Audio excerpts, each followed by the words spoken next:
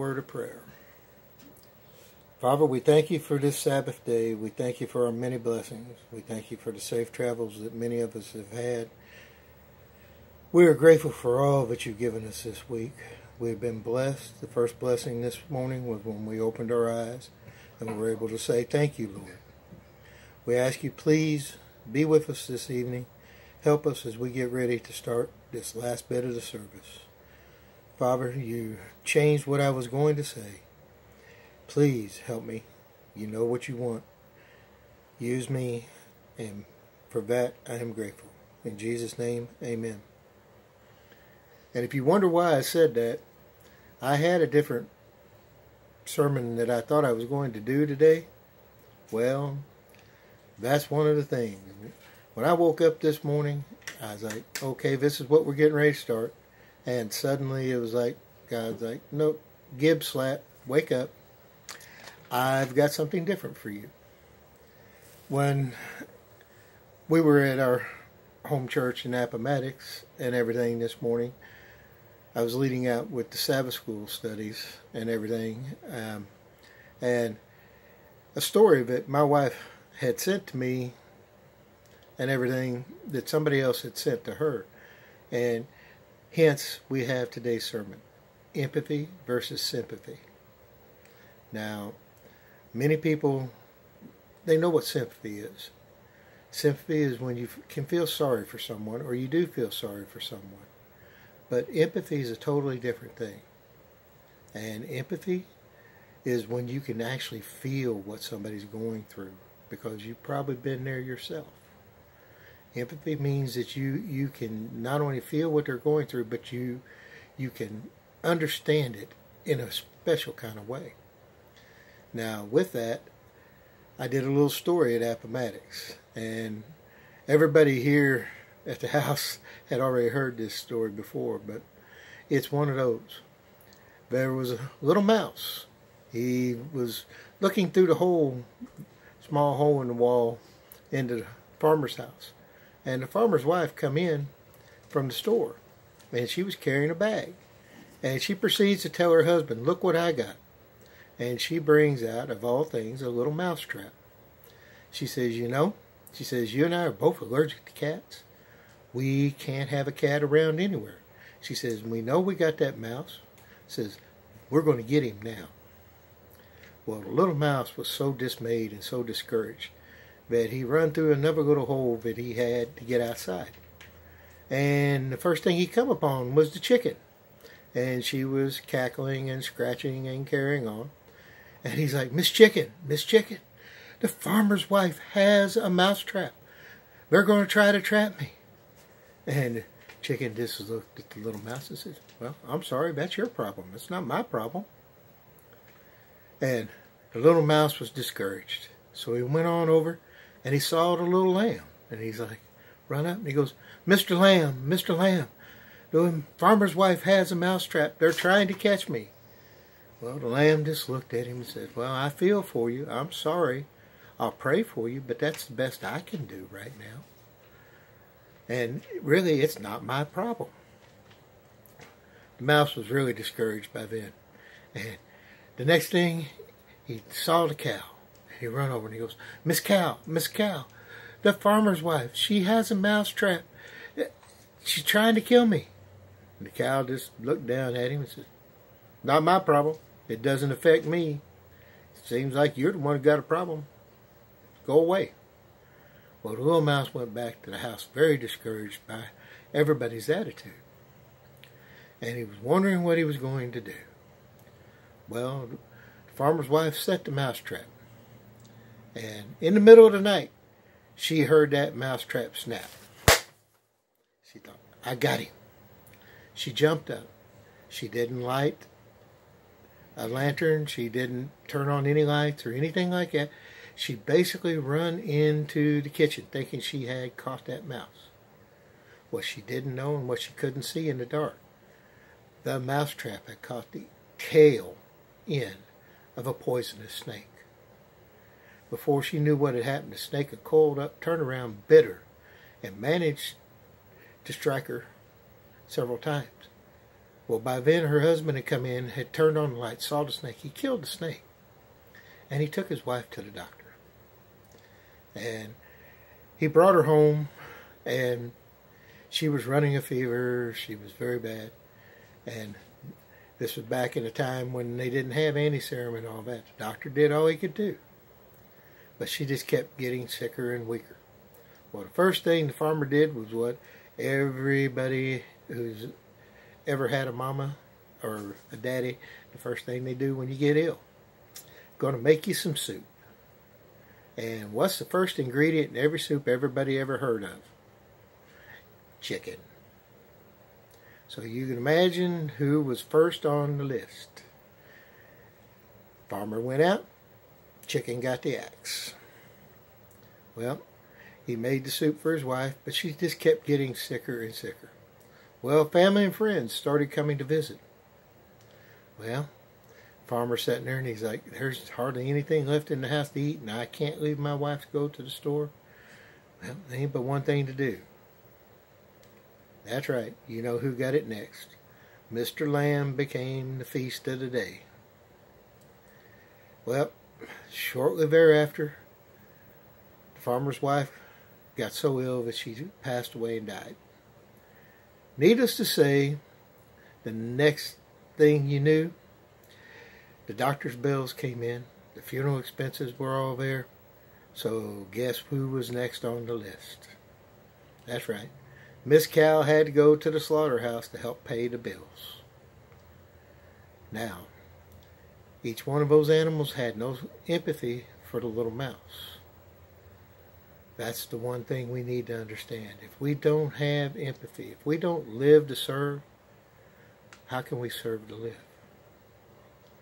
And that's one of the many things. The shortest verse in the Bible. Do you know what it is? It's two simple words.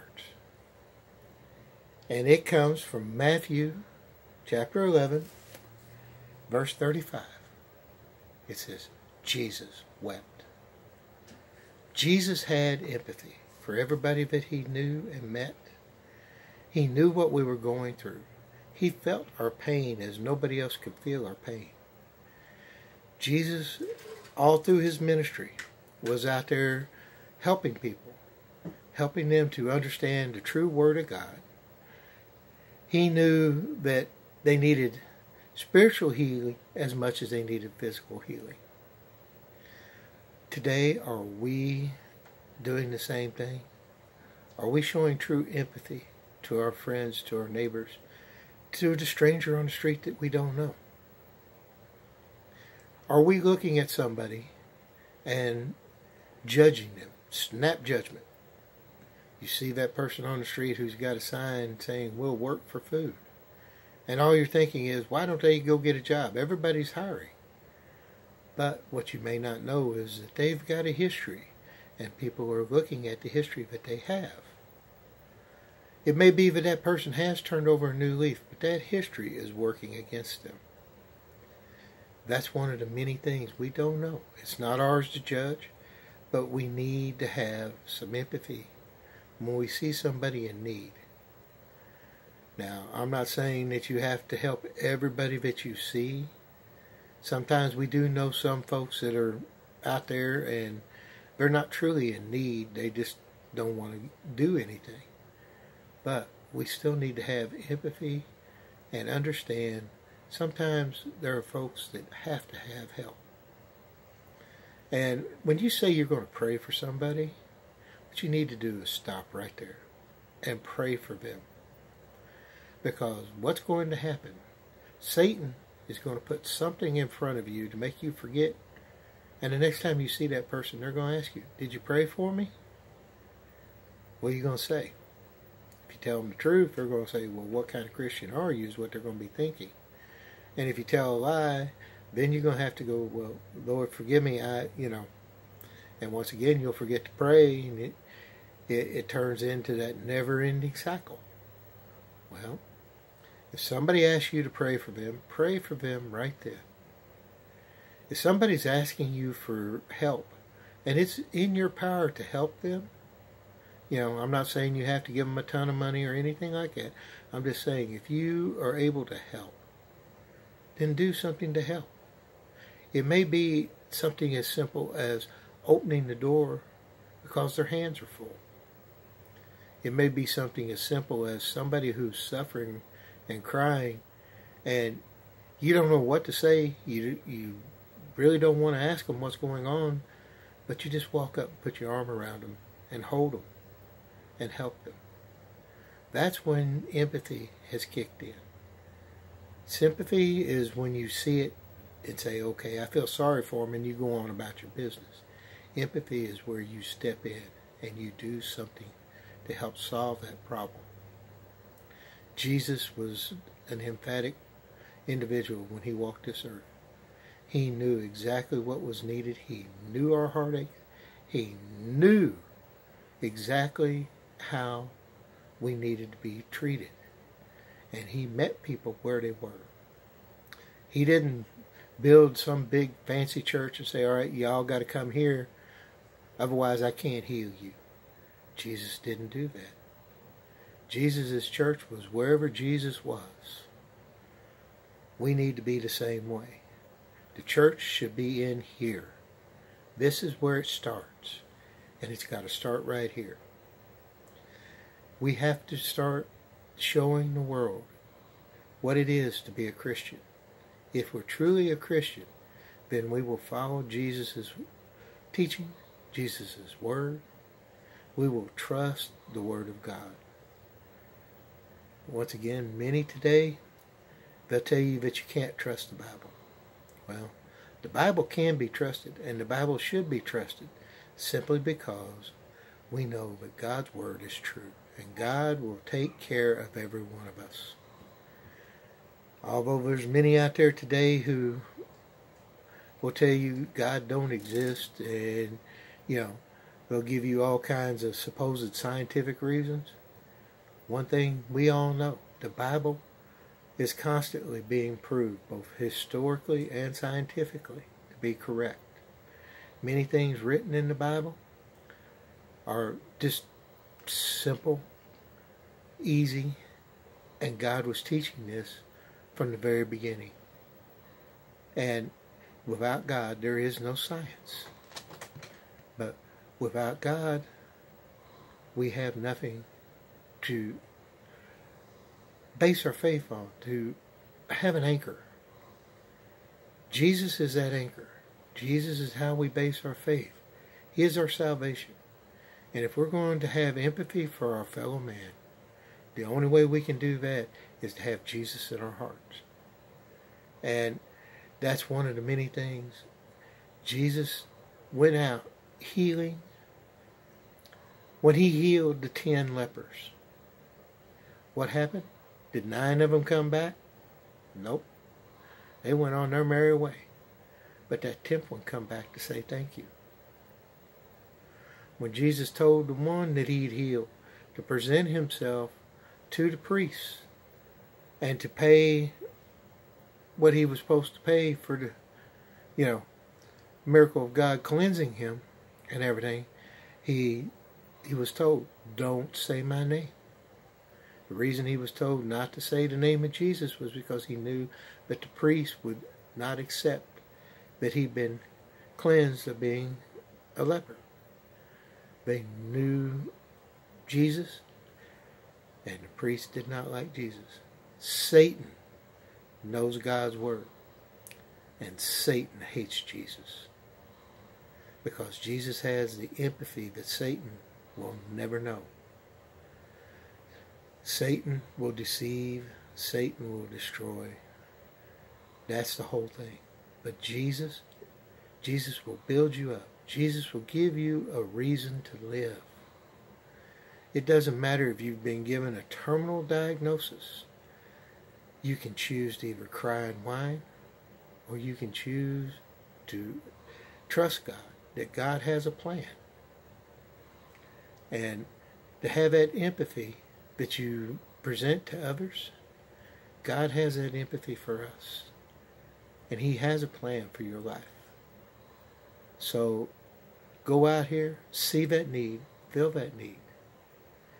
When somebody comes to you with a problem, and it's a problem that you can help solve, help solve it. Take the time. Show what a Christian truly is.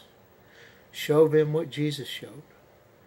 Jesus never turned away someone who come asking for healing. But he didn't just heal the body. Jesus healed the spirit. Jesus healed the mind. It's one of those things. When Jesus wept at the tomb of Lazarus, he had empathy for Lazarus. And the reason he wept, he knew that he was going to call Lazarus forth. And he called only Lazarus. He made sure of that. Because if Jesus said, come on out, everybody everybody would have been popping out of their tombs coming out. He said, Lazarus, come forth. But the reason Jesus wept was not that Lazarus had died, like the ones who, the paid mourners who were watching, you know, look how he loved him. Jesus was weeping because he knew that once he called Lazarus forth, that Lazarus would have to die one more time. That's why he was weeping. He had empathy for he, he knew what Lazarus was going to have to go through. But at the same time, he also knew that God was going to get the glory from Lazarus coming forth. And that's the one thing. As long as we're doing what we're supposed to be doing, that God gets the glory, not us. And we have that empathy that Jesus had, we can accomplish many great miracles. Just remember, it's God's will, God's timing, and Jesus' love and empathy for us to give us the faith, the love, and the empathy for others. Once again, folks, let us end with a word of prayer. Father, we thank you for this day and we thank you for our many blessings. We are grateful for all that you've given us. We are grateful for everyone who was able to join us today. We are grateful for the medium that you've given us to use to get your word out to the rest of the world. Father, help us to go forward. Help us to be like our Lord and Savior Jesus Christ. Give us the empathy to be able to help our fellow man. Help us to remember the Great Commission to go forth, spreading the good news of the gospel, which is good news. Help us, Father, so that we may spread the word of Jesus and talk about your love for this fallen world. Help us to get ready for the end times that are so near. Revelation is a book that is being opened every day. We see it breaking open.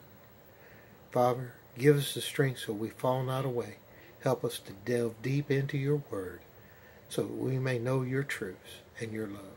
It is in Jesus' name we pray. Amen.